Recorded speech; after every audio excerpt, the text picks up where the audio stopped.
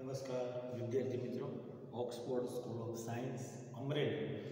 ધોરણ આઠ, સામાજિક વિજ્ઞાન. પ્રકરણ નંબર એક સેમેસ્ટર ટુ ધાર્મિક, સામાજિક જાગૃતિ. આપણે આગળ વાત કરી હતી. રામકૃષ્ણ પરમહંસ સ્વામી વિવેકાનંદ.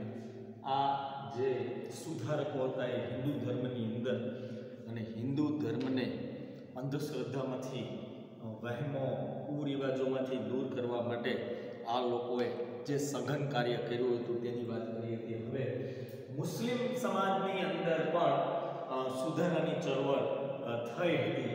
જેની અંદર ઉત્તર પ્રદેશની અંદર જે રાયબરેલી છે, એ રાયબરેલીની અંદર સૈયદ અહમદ ખાન અને બંગાળની અંદર સૈયદુલ્લા જેવા લોકો હતા. એમણે પોતાની આગેવાની હેઠળ આજે મુસ્લિમ સમાજ હતો અને મુસલમાનોમાં પણ સામાજિક અને ધાર્મિક જે જાગૃતિ છે એનો આરંભ કર્યો હતો. અને આ માટે વિદ્યાર્થી મિત્રો એમણે આ મુસ્લિમ સમાજમાં આ સુધારાઓ માટે જે ચળવળ કરી હતી એમાં એક વહાબી આંદોલન પણ શરૂ કરવામાં આવ્યું હતું. ઓગણીસમી સદીની શરૂઆત અને ઉત્તર પ્રદેશ ઉત્તર પ્રદેશનું જે રાયબરેલી છે એ રાયબરેલીની અંદર અ, સૈયદ અહમદ ખાન અને બંગાળના એક વ્યક્તિ હતા સૈયદુલ્લા આ જે લોકો હતા, આ લોકોની આગેવાની હેઠળ મુસલમાનોમાં પણ સામાજિક અને ધાર્મિક જાગૃતિનો આરંભ થયો હતો. તેમણે ધાર્મિક નેતા જે દિલ્હીના હતા, શાહ વલ્લી ઉલ્લાહ એ જે શાહ વલી ઉલ્લાહના ઉપદેશમાંથી એમણે પ્રેરણા મેળવી હતી. તેઓ માનતા હતા કે, એટલે કે આ મુસ્લિમ સમાજની અંદર એમના જે ધર્મના નેતા હતા, જે ધાર્મિક નેતા હતા, એ દિલ્હીના હતા અને એનું નામ હતું શાહ વલી ઉલ્લાહ આ વલી ઉલ્લાહ છે, એમણે ઉપદેશ આપેલો હતો જે વ્યક્તિ હતા કે ભાઈ મુસ્લિમ સમાજની અંદર કેવી રીતે આ મુસ્લિમ સમાજ છે, એની અંદર જે ચળવળ શરૂ થઈ. એ એમાં મુખ્ય કોઈ ફાળો ભજવો હોય તો એ છે દિલ્હીના શાહ વલીઉલ્લા એમણે ઉપદેશ આપેલો હતો અને એમના ઉપદેશમાંથી જ આ બંને વ્યક્તિઓએ પ્રેરણા મેળવી હતી. અને તેઓ શું માનતા? તેઓ માનતા હતા કે ભારતમાં ઇસ્લામ ધર્મ છે એ દૂષિત થયો છે. કઈ રીતે? તો કે ઇસ્લામ ધર્મ દૂષિત થવાથી દેશ ઉપર અંગ્રેજોએ શાસન સ્થાપ્યું હતું. એટલે કે અંગ્રેજો આપણા દેશમાં શા માટે આવ્યા હતા? કારણ કે મુસ્લિમ સમાજ દૂષિત બન્યો છે. અને મુસ્લિમ સમાજની અંદર જે દૂષણ ફેલાયું છે, એને કારણે ભારતમાં એટલે કે ભારત દેશ ઉપર અંગ્રેજોએ આ શાસન સ્થાપ્યું હતું. તેમણે ઇસ્લામ ધર્મ અને સંસ્કૃતિને મજબૂત અને શુદ્ધ કરવા માટે એક આંદોલન ચલાવ્યું હતું, જેનું નામ છે વહાબી આંદોલન. વહાબી આંદોલન બાદ થોડા મુસલમાનોમાં પાશ્ચાત્ય વિચારોનો પ્રભાવ વધતા અંગ્રેજી શિક્ષણનું પ્રમાણ વધ્યું હતું.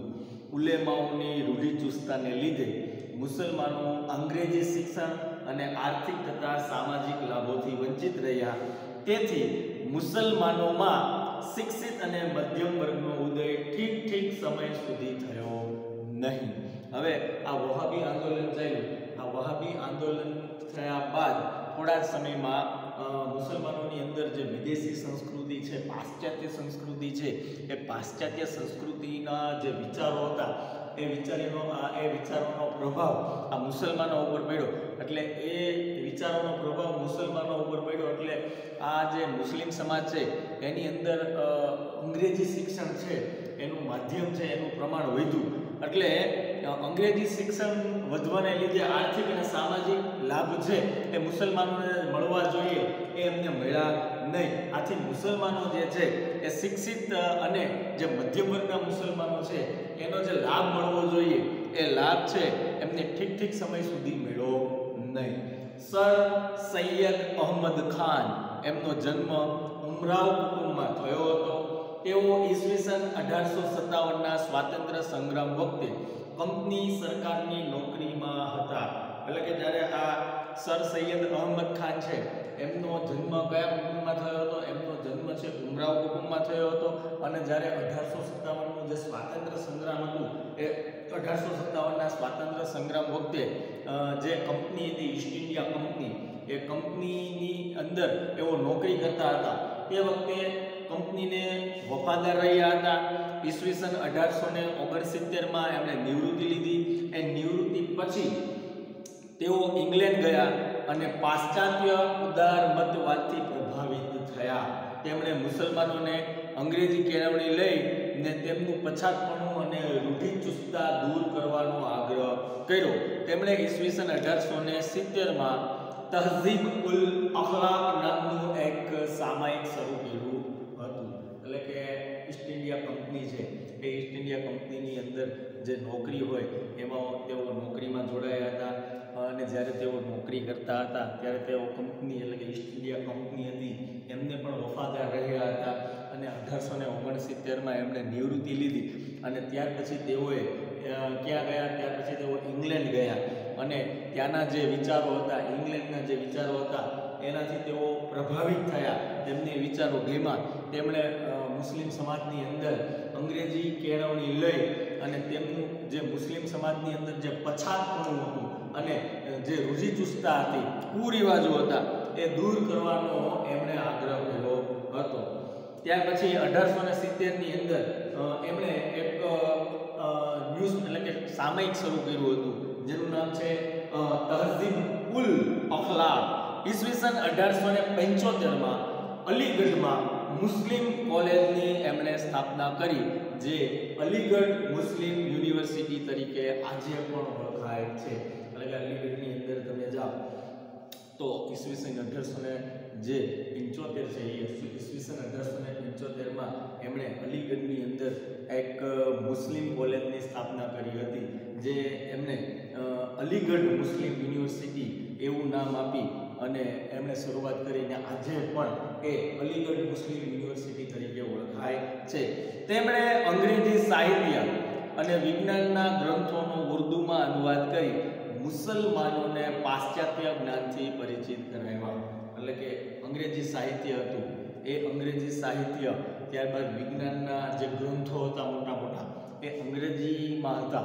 અંગ્રેજીમાંથી ટ્રાન્સલેશન કરી એણે ઉર્દુમાં અનુવાદ કર્યો અને ઉર્દુમાં અનુવાદ કરી અને એમના સમાજના જે મુસલમાનો હતા, એ મુસલમાનોને જે પાશ્ચાત્ય વિચારો હતા કે વિદેશી સંસ્કૃતિના જે વિચારો હતા અને વિદેશી સંસ્કૃતિનું જે જ્ઞાન હતું એ જ્ઞાનથી એમણે પરિચિત કરાવ્યા કઈ ભાષામાં ટ્રાન્સલેટ કર્યું? તો કે ઉર્દુ ભાષામાં. તેમણે ગુરખા પ્રથા અને બાળ લગ્ન પ્રથાનો વિરોધ કર્યો અને વિધવા વિવાહ તથા સ્ત્રી કેળવણીની તરફેણ કરી. બુરખા મુસલમાન સ્ત્રીઓ છે, બુરખો પહેરતી હોય છે. અને એ સમયમાં એ બુરખા પ્રથા છે, એમણે એમનો વિરોધ કર્યો. પછી નાની ઉંમરમાં જ બાળકોના લગ્ન કરવાની જે પ્રથા હતી, એનો પણ એમણે વિરોધ કર્યો. અને જે સ્ત્રી વિધવા થઈ હોય, એ ફરીને વિવાહ કરી શકે છે. અને સ્ત્રી કોઈ પણ હોય, એને પણ પુરુષને જેટલું શિક્ષણ મળે, એટલું જ એ સ્ત્રીને પણ શિક્ષણ મળવું જોઈએ. આ માટેના એણે ખૂબ સુધારા કર્યા. તો આમ, આ રીતે મુસ્લિમ સમાજની અંદર જે ઘણી ઘણી ચળવળ થઈ અને મુસ્લિમ સમાજની અંદર જે પાશ્ચાત્ય વિચારો છે, એ પાશ્ચાત્ય વિચારોનો ઉદય થયો. ત્યાર પછી બીજો ટોપિક છે શીખ સમાજ. એટલે કે જેવી રીતે મુસ્લિમ સમાજની અંદર સુધારાની ચળવળો થઈ, એવી રીતે શીખ સમાજની અંદર પણ સુધારાઓ થયા. ઓગણીસમી સદીના સુધારાની અસરે શીખ સમાજને પણ પ્રભાવિત કર્યો એટલે મુસ્લિમ સમાજની અંદર જેમ સુધારા થયા, એમ વિદ્યાર્થી મિત્રો શીખ સમાજની અંદર પણ સુધારા થયા. ગુરુ દ્વારા શીખ સમાજ આપણે મંદિર કહીએ છીએ. જૈન લોકો દેરાસર કે મુસ્લિમ લોકો મસ્જિદ કે એમ શીખ સમાજની અંદર ગુરુદ્વારા હોય છે, એમનું મંદિર હોય છે.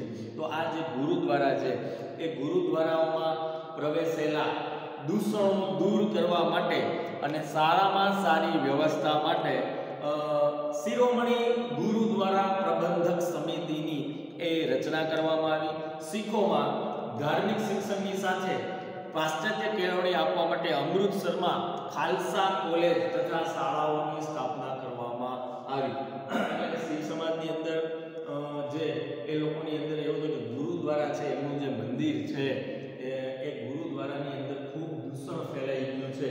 અને આ દૂષણને ફેલા, આ જે ફેલાયેલું દૂષણ છે, એને દૂર કરવા માટે અને આ ગુરુદ્વારાની અંદર સારામાં સારી વ્યવસ્થા માટે એક સમિતિની રચના કરવામાં આવી, જેનું નામ છે શિરોમણી ગુરુદ્વારા પ્રબંધક સમિતિ.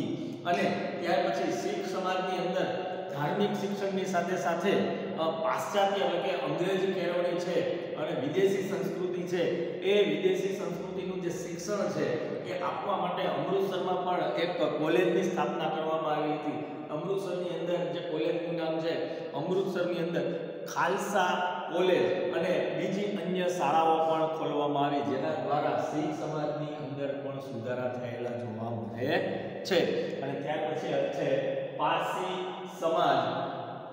અંગ્રેજી કેળવણી પામેલા પારસી યુવાનોએ ધર્મ અને સમાજ સુધારણા માટે ઈસવીસન અઢારસો ને એકાવનમાં રહનુમા ઈ મઝદયર બંધ સભાની એમણે અને વાસક ગોફતાર નામનું મુખપત્ર પણ શરૂ કરેલું હતું. જેવી રીતે મુસ્લિમ સમાજની અંદર સુધારા થયા, શીખ સમાજની અંદર પણ સુધારા થયા, એમ પારસી સમાજે પણ પોતાના સમાજની અંદર જે દૂષણો ફેલાયેલા છે, જે કુરિવાજો છે, એ કુરિવાજોને દૂર કરવા માટે આ સમાજે પણ પ્રયત્ન કરેલા છે. એના માટે અંગ્રેજી શિક્ષણ મેળવેલા જે યુવાનો હતા, પારસી યુવાનો હતા એમણે પોતાના ધર્મની અંદર, પોતાના સમાજની અંદર સુધારણા માટે ઈસવીસન અઢારસો ને એકાવનમાં રહનુમા ઈ મઝદયર બંધ સભાની સ્થાપના કરી હતી.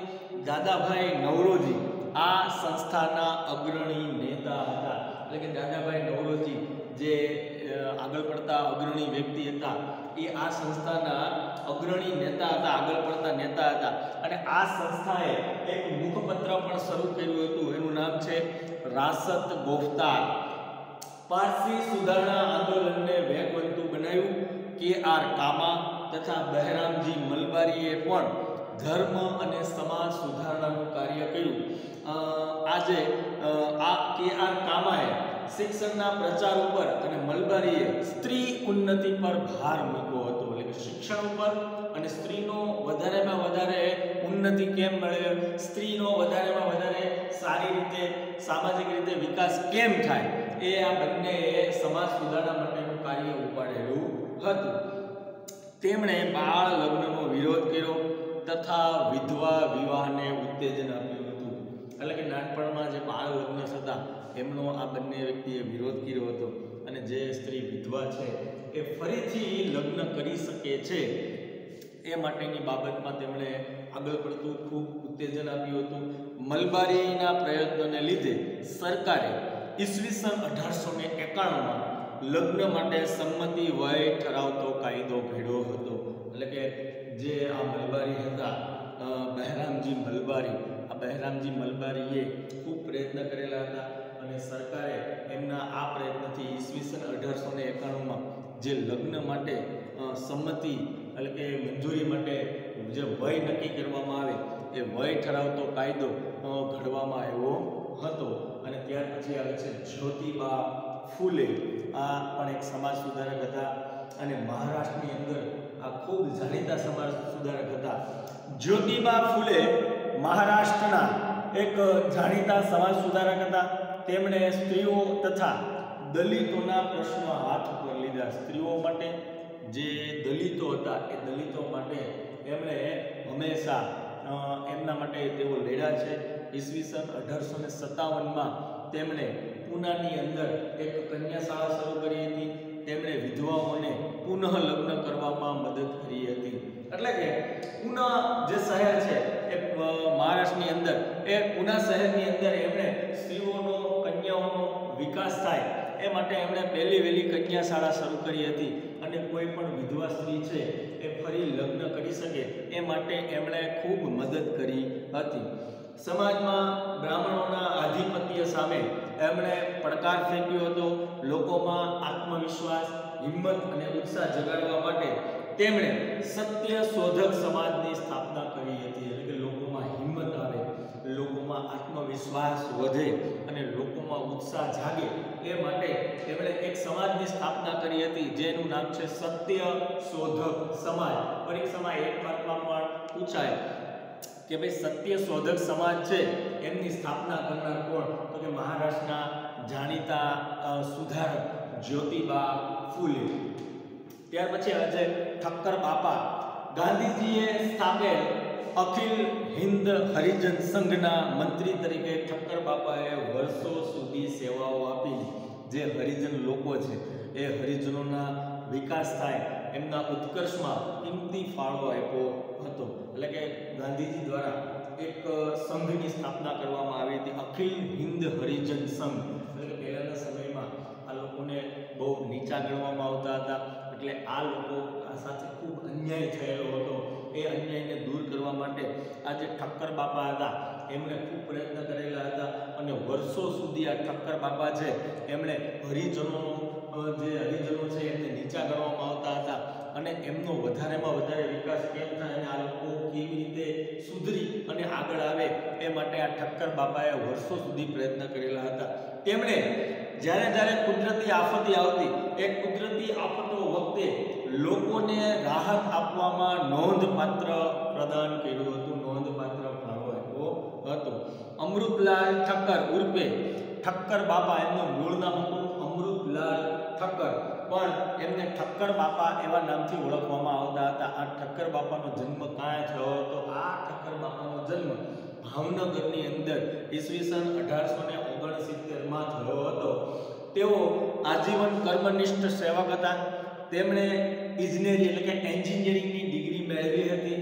સારા પગારની નોકરી કરતા એ સારા પગારની નોકરી છોડીને ગાંધીજીથી પ્રભાવિત થયા હતા અને ગાંધીજીના પ્રભાવ હેઠળ ઠેઠ છેવાડાના લોકો છે, જે જંગલ સુધીના લોકો છે, એ છેવાડાના લોકોની એમણે સેવા કરી. હતી. એટલે ઠક્કર બાપાએ એમ કહેવાય કે એન્જિનિયરિંગની ડિગ્રી મેળવી હતી. ખૂબ સારા પગારની નોકરી કરતા હતા, પણ ગાંધીજીના સંપર્કમાં આવ્યા. એટલે ગાંધીજીથી તેઓ પ્રભાવિત થયા. અને ગાંધીજીથી પ્રભાવિત થઈ, એમણે આ લોકસેવાનું કામ ઉપાડી લીધું. અને છેવાડાના ગામ હોય, છેવાડાના લોકો હોય, એમની એમણે ખૂબ સેવા કરી હતી.